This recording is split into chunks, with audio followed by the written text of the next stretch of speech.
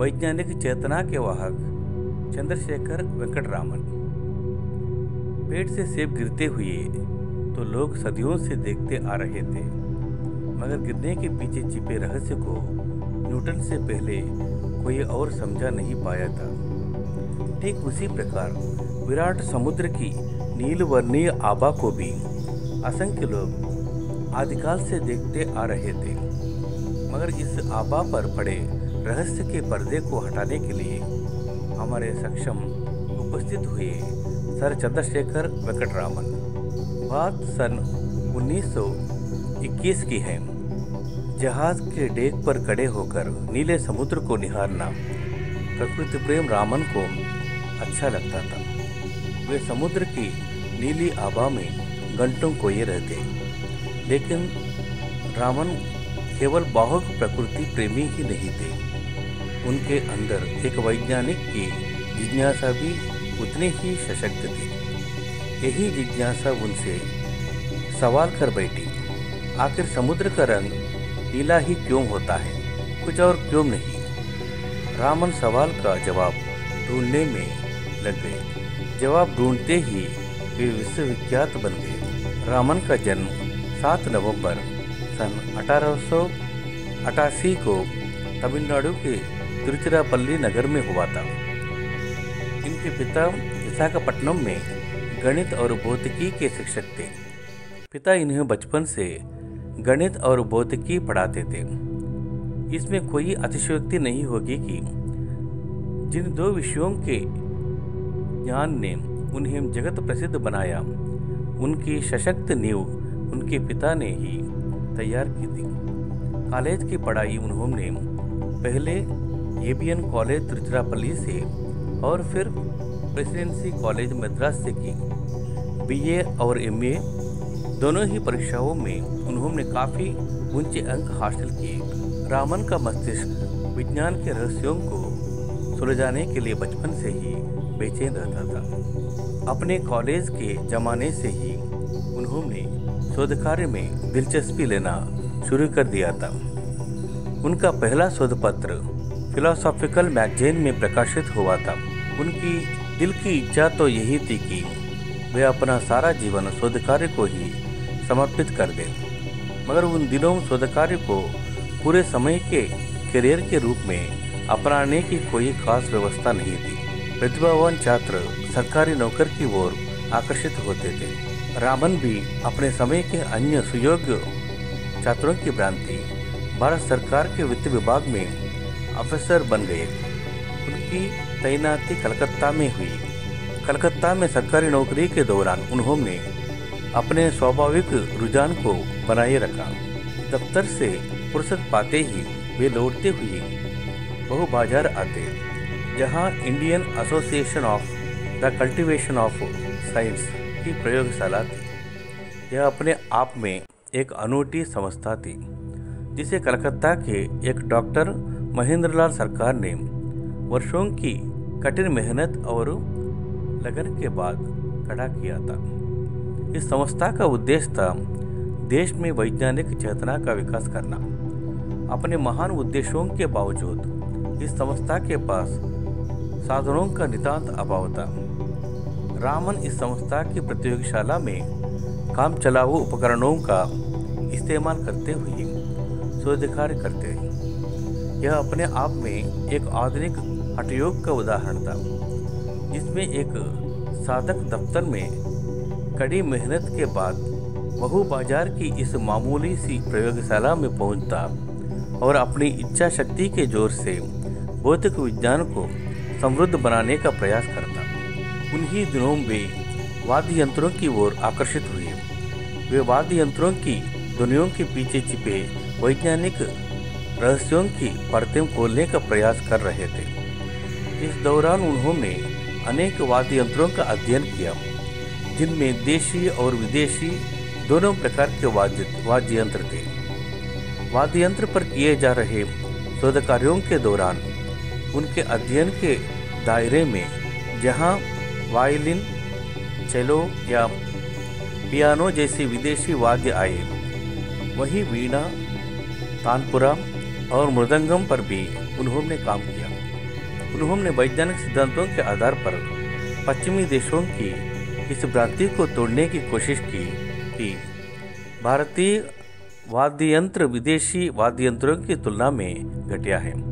वाद्य यंत्रों के कंपन के पीछे छिपे गणित पर उन्होंने अच्छा खास काम किया और अनेक शोध पत्र भी प्रकाशित किए। उस जमाने के प्रसिद्ध शिक्षा शास्त्री सर आशुतोष मुखर्जी को इस प्रतिभावान युवक के बारे में जानकारी मिली। उन्हीं दिनों कलकत्ता विश्वविद्यालय में प्रोफेसर का नया पद सृजन हुआ था। मुखर्जी महोदय ने रामन के समक्ष प्रस्ताव रखा कि वे सरकारी नौकरी छोड़कर कलकत्ता विश्वविद्यालय में प्रोफेसर का पद स्वीकार कर लें। रामन के लिए यह एक कठिन निर्णय था। उस जमाने के हिसाब से वे एक अत्यंत प्रतिष्ठित सरकारी पद पर थे, जिसके साथ मोटी तनख्वाह और अनेक सुविधाएँ जुड़ी हुई थी। उन्हें नौकरी करते हुए दस वर्ष बीत चुके थे। ऐसी हालत में सरकारी नौकरी छोड़कर कम वेतन और कम सुविधाओं वाली विश्वविद्यालय की नौकरी में आने का फैसला करना हिम्मत का काम था। रामन सरकारी नौकरी की सुख सुविधाओं को छोड़ सन 1917 में कलकत्ता विश्वविद्यालय की नौकरी में आ गए उनके लिए सरस्वती की साधना। सरकारी सुख सुविधाओं से कहीं अधिक महत्वपूर्ण थी। कलकत्ता विश्वविद्यालय के शैक्षणिक माहौल में वे अपना पूरा समय अध्ययन, अध्यापन और शोध में बिताने लगे। चार साल बाद यानी सन 1921 में समुद्र यात्रा के दौरान, जब रामन के मस्तिष्क में समुद्र के नीले रंगों की वजह का सवाल हिलोरे लेने लगा। तो उन्होंने आगे इस दिशा में प्रयोग किए, जिसकी परिणति रामन प्रभाव की खोज के रूप में हुई। रामन ने अनेक ठोस रवों और तरल पदार्थों पर प्रकाश की किरणों के प्रभाव का अध्ययन किया। उन्होंने पाया कि जब एक वर्णीय प्रकाश की किरण किसी तरल या ठोस रवेदार पदार्थ से गुजरती है तो गुजरने के बाद उसके वर्ण में परिवर्तन आता है। वजह यह होती है कि एक वर्णीय प्रकाश की किरण के फोटान जब तरल या ठोस रवे से गुजरते हुए इनके अणुओं से टकराते हैं तो इस टकरावट के परिणाम स्वरूप वे या तो ऊर्जा का कुछ अंश खो देते हैं या पा जाते हैं। दोनों ही स्थितियाँ प्रकाश के वर्ण में बदलाव लाती हैं। एक वर्णीय प्रकाश की किरणों में सबसे अधिक ऊर्जा बैंगनी रंग के प्रकाश में होते हैं। बैंगनी के बाद क्रमशः नीले, आसमानी, हरे, पीले, नारंगी और लाल वर्ण का नंबर आता है। इस प्रकार लाल वर्गीय प्रकाश की ऊर्जा सबसे कम होती है। एक वर्गीय प्रकाश तरल या ठोस रवों से गुजरते हुए, जिस परिणाम में ऊर्जा खोता या पाता है, उसी हिसाब से उसका वर्ण परिवर्तित हो जाता है। रामन की खोज भौतिकी के क्षेत्र में एक क्रांति के समान थी। इसका पहला परिणाम तो यह हुआ कि प्रकाश की प्रकृति के बारे में आइंस्टाइन के विचारों का प्रायोगिक प्रमाण मिल गया। आइंस्टाइन के पूर्ववर्ती वैज्ञानिक प्रकाश को तरंग के रूप में मानते थे। मगर आइंस्टाइन ने बताया कि प्रकाश अति सूक्ष्म कणों की तीव्र धारा के समान है। इस अति सूक्ष्म कणों की तुलना आइंस्टाइन ने बुलेट से की और इन्हें पोटानु नाम दिया। रामन के प्रयोगों ने आइंस्टाइन की धारणा का प्रत्यक्ष प्रमाण दे दिया, क्योंकि एक वर्णीय प्रकाश के वर्ण में परिवर्तन यह साफ़ तौर पर प्रमाणित करता है कि प्रकाश की किरण तीव्र गामी सूक्ष्म कणों के प्रवाह के रूप में व्यवहार करते हैं। रामन की खोज की वजह से पदार्थों के अणुओं और परमाणुओं की आंतरिक संरचना का अध्ययन सहज हो गया। पहले इस काम के लिए इंफ्रारेड स्पेक्ट्रोस्कोपी का सहारा लिया जाता था।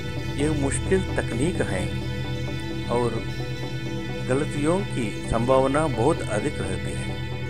रामन की खोज के बाद पदार्थों की आणविक और परमाणविक संरचना के अध्ययन के लिए रामन स्पेक्ट्रोस्कोपी का सहारा लिया जाने लगा। यह तकनीकी एक वर्गीय प्रकाश के वर्ण में परिवर्तन के आधार पर पदार्थों के अणुओं और परमाणुओं की संरचना की सटीक जानकारी देती है। इस जानकारी की वजह से पदार्थों का संश्लेषण प्रयोगशाला में करना तथा अनेक उपयोगी पदार्थों का कृत्रिम रूप से निर्माण संभव हो गया है। रामन प्रभाव की खोज ने रामन को विश्व के चोटी के वैज्ञानिकों की पंक्ति में ला खड़ा किया। पुरस्कारों और सम्मानों की तो जैसे चिड़ी सी लगी रही। उन्हें सन 1924 में रॉयल सोसाइटी की सदस्य से सम्मानित किया गया। सन उन्नीस सौ उनतीस में उन्हें सर की उपाधि उपाधि प्रदान की गई। ठीक अगले ही साल उन्हें विश्व के सर्वोच्च पुरस्कार भौतिकी में नोबल पुरस्कार से सम्मानित किया गया। उन्हें और भी कई पुरस्कार मिले, जैसे रोम का मैथ्यूसी पदक, रॉयल सोसाइटी का ह्यूज पदक फिलोडेस्पिया इंस्टीट्यूट का फ्रैंकलिन पदक, सोवियत रूस का अंतर्राष्ट्रीय लेनिन पुरस्कार आदि। सन उन्नीस में रामन को देश के सर्वोच्च सम्मान भारत रत्न से सम्मानित किया गया। वे नोबेल पुरस्कार पाने वाले पहले भारतीय वैज्ञानिक थे। उनके बाद यह पुरस्कार भारतीय नागरिकता वाले किसी अन्य वैज्ञानिक को अभी तक नहीं मिल पाया है। उन्हें अधिकांश सम्मान उस दौर में मिले जब भारत अंग्रेज़ का गुलाम था। उन्हें मिलने वाले सम्मानों ने भारत को एक नया आत्मसम्मान और आत्मविश्वास दिया। विज्ञान के क्षेत्र में उन्होंने एक नई भारतीय चेतना को जागृत किया। भारतीय संस्कृति से रामन को हमेशा ही गहरा लगाव रहा। उन्होंने अपनी भारतीय पहचान को हमेशा अक्षुण्ण रखा। अंतर्राष्ट्रीय प्रसिद्धि के बाद भी उन्होंने अपने दक्षिण भारत पहनावे को नहीं छोड़ा। वे कट्टर शाकाहारी थे और मदिरा से सख्त परहेज रखते थे।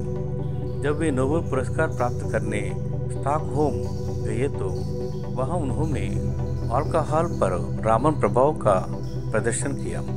बाद में आयोजित पार्टी में जब उन्होंने शराब पीने से इनकार किया तो एक आयोजक ने परिहास में उनसे कहा कि रामन ने जब अल्कोहल पर रामम प्रभाव का प्रदर्शन कर हमें आह्लादित करने में कोई कसर नहीं छोड़ी तो रामन पर अल्कोहल के प्रभाव का प्रदर्शन करने से परहेज क्यों? रामन का वैज्ञानिक व्यक्तित्व प्रयोगों और शोध पत्र लेखन तक सिमटा हुआ नहीं था। उनके अंदर एक राष्ट्रीय चेतना थी और वे देश में वैज्ञानिक दृष्टि और चिंतन के विकास के प्रति समर्पित थे। उन्हें अपने शुरुआती दिन हमेशा ही याद रहे, जब उन्हें ढंग की प्रयोगशाला और उपकरणों के अभाव में काफ़ी संघर्ष करना पड़ा था। इसलिए उन्होंने एक अत्यंत उन्नत प्रयोगशाला और शोध संस्थान की स्थापना की, जो बेंगलुरु में स्थित है, और उन्हीं के नाम पर रामन रिसर्च इंस्टीट्यूट नाम से जानी जाती है। भौतिक शास्त्र में अनुसंधान को बढ़ावा देने के लिए उन्होंने इंडियन जर्नल ऑफ़ फिजिक्स नामक शोध पत्र का प्रारंभ किया। अपने जीवन काल में उन्होंने सैकड़ों शोध छात्रों का मार्गदर्शन किया। जिस प्रकार एक दीपक से अन्य कई दीपक जल उड़ते हैं, उसी प्रकार उनके शोध पत्रों ने आगे चलकर काफ़ी अच्छा काम किया।